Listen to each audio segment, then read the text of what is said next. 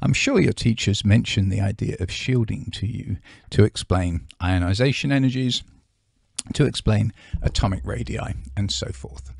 And that's really all the A-level spec requires. Now, some teachers might have gone a teeny bit further than that and tried to quantify the amount to which one electron shields another one. And the most common way in which they might have done that was just subtract the core electrons from the charge from the atomic number and said, okay, that's what's left in terms of your valence electrons or whatever is feeling that nucleus. Now, while that gives you a idea of what's going on, it's not really correct. Um, and so what we're going to do in this little extension topic is just take the idea of shielding and apply a well-established method derived by a chap called Slater to actually calculate, first of all, the amount of shielding and thus get the so-called effective nuclear charge. In other words, the charge that a particular electron actually feels from the nucleus. Now, very quickly, just a pretty little picture. Here's an atom. Um, described in the orbit setting, which of course is usually a very good way to think about um, uh, an atom's properties. Just think about it in terms of its shell structure. So there's one electron in the first shell. There's a second electron in the first shell. Now, when you look at this picture, you're thinking, well, those two electrons don't have any effect on each other at all. But of course, remember, in reality, we don't think of electrons being in orbits, we think of them being in orbitals. And orbitals are not a fixed distance from the nucleus. So one of these electrons, let's pretend this one, could quite easily actually be closer to the nucleus than this electron. And of course, that would mean it could shield it. So the first thing to remember is even electrons in the same shell, even in the same subshell, can shield each other from the nucleus. Then, of course, you throw in another electron or two into that second shell. Both of those are shielded by those two inner electrons, and they're also going to have an effect on each other. So therefore, we need to take all that into account. And as I said, put together by a chap called Slater. All right. Now, first of all, let's get some terminology. Z is the atomic number. S is a so-called shielding constant. Okay, and so when you take the actual nuclear charge and you subtract the shielding constant, that's the amount that a particular electron is shielded by all the other electrons in the atom, then you get the effective nuclear charge. This is the nuclear charge actually felt, the positive charge felt by that particular electron. Now, in order to calculate the first of all the shielding constant and then of course the effective nuclear charge. You first of all need to write the electrons in this order. Change the electron configuration ever so slightly. So it is in terms first of all in shells so we'll see the first shell then the second shell then all of the third shell and then all of the fourth shell and so on and then separating out the s and the p from the d electrons and then of course if we were to go further which i'm not really going to do today um, we'd separate out the f as well it's very important you put them in this particular order. Okay, 3s and the 3p we can think of in terms of our usual regular shell idea, but the 3d is of course weird. Right, the 4d is weird, the 4f is even weirder. Now, once you've written out like that, pick the electron that you're interested in. If that electron is an S or a P electron, well then the way that Shelter uh, that Slater, excuse me, calculates the shielding is just to use these little rules. And I'm just going to throw them up there without any real discussion about it, and it will exemplify it. But you can see that what we're effectively saying, this is how we're calculating shielding. So an electron in the same group has a small shielding effect, just as we discussed. This one can shield that one. This one could shield that one. Electrons that are in the n minus 1 shell, so in other words, these electrons compared to that one, shield more. 0.85 okay but it's not an entire electron away because sometimes this electron is going to be a little bit further than that electron because remember they're in orbitals not orbits. But by the time you get to electrons that are further to the left in other words closer to the nucleus than just the n minus 1 shell then the Slater approximation is that those completely shield the poor little electron of interest now, if the electron of interest is in a D or an F, and of course we're not going to worry with Fs, but we are going to do a D calculation, it's much simpler. If it's in the same group, which of course means the same subshell for the Ds and the Fs, then there is a 0.35 effect, but everything closer to the nucleus has a full one electron shielding effect. So let's do a couple of examples. The rules, no point in memorizing those. Let's think about a chlorine atom. Chlorine, of course, Z is 17, 17 protons in the nucleus, so 17 electrons outside. So let's write those out, 1s2, 2s2, 2p6, 3s2, 3p5. Now, of course, the whole idea is that these electrons are going to not all feel, in fact, none of them feel the full effect of the 17 plus in the nucleus. As we get further away from the nucleus, they're going to feel less and less of that 17 plus. They're going to be shielded by other electrons in there.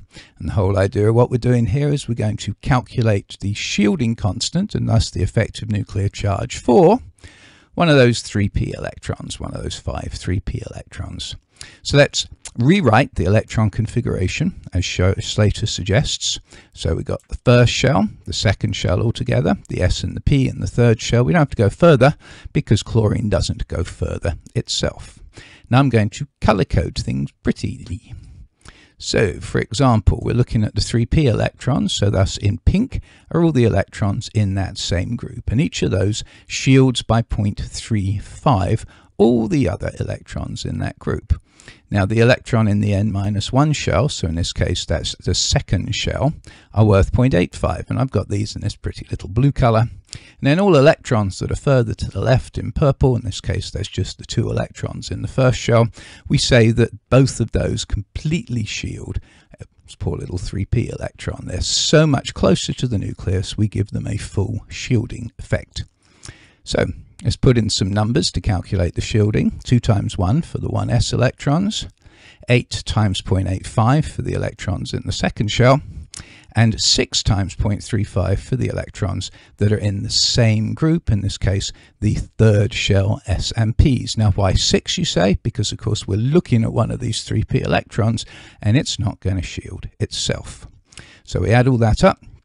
Shielding um, factor, 10.9, so the effective nuclear charge, how much of those 17 protons in the nucleus does that 3p electron feel, is going to be 17 minus 10.9 or 6.1. So even though there's 17 protons in the nucleus, that electron that's in the um, third shell, whether it be actually in an S or a P in that third shell, if you think about it, is only going to feel a little bit over 6 plus from the nucleus.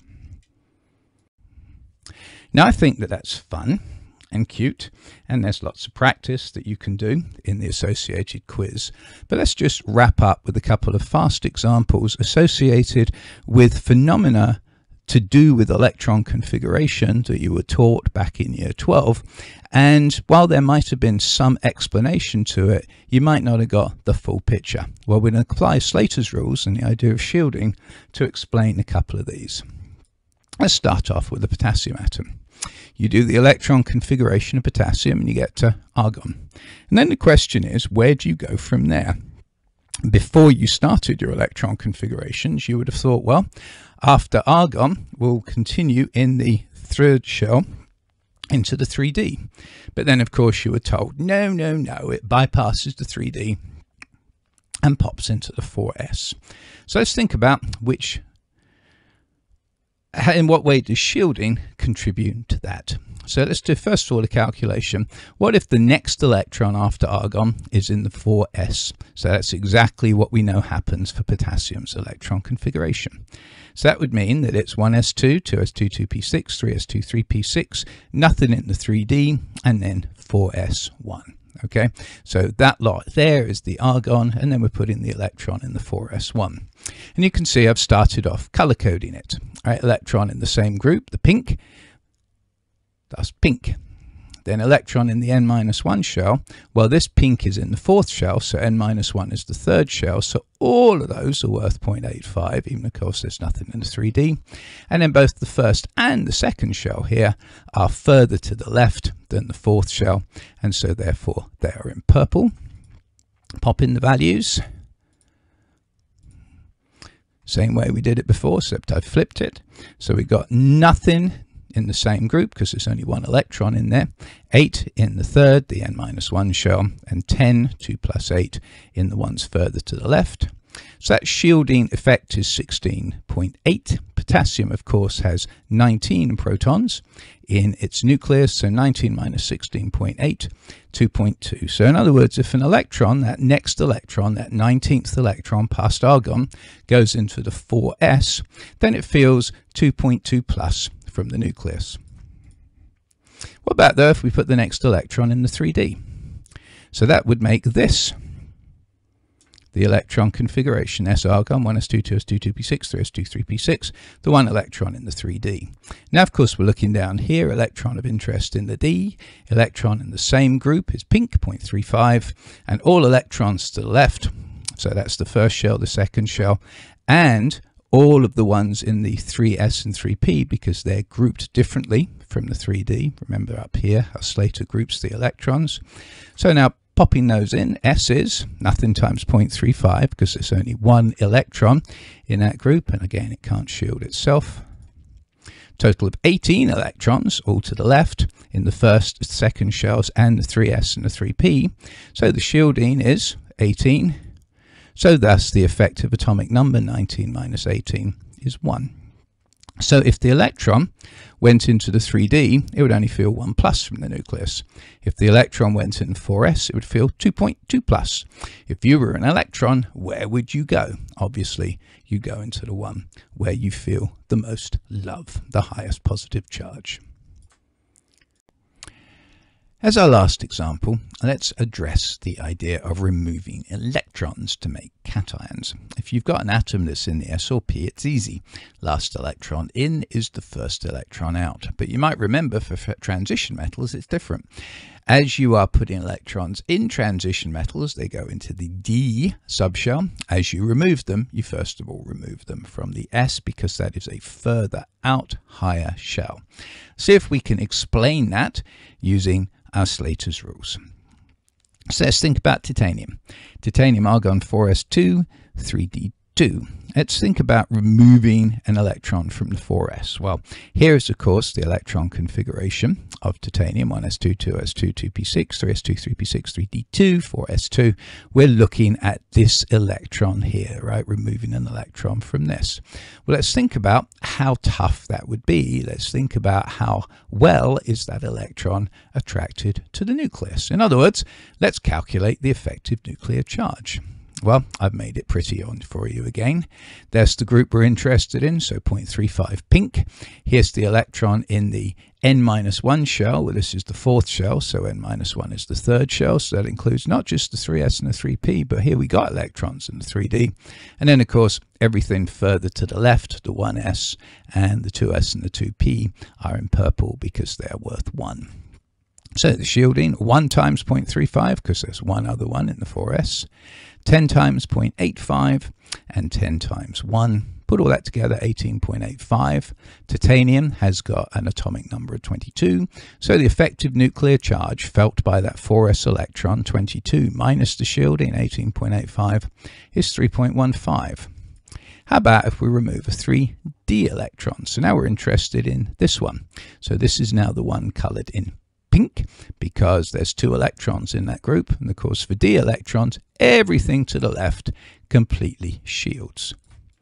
So S is 1 times the 0.35 that's in the 3D and 18 times 1. And we don't count the 4s because that's further out. It doesn't shield the 3D electrons to any extent in the Slater approximation. So that gives us 18.35. So the effective nuclear charge for that, 22 minus 18.35, 3.65. So the 3d electron feels 3.65 positive from the nucleus. The 4s electron feels 3.15 positive from the nucleus. Which electron is going to go?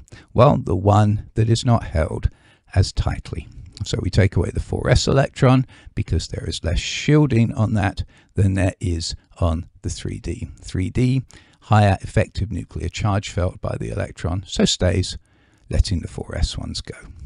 Wasn't that fun? Hope you're enjoying these extension topics. More to come.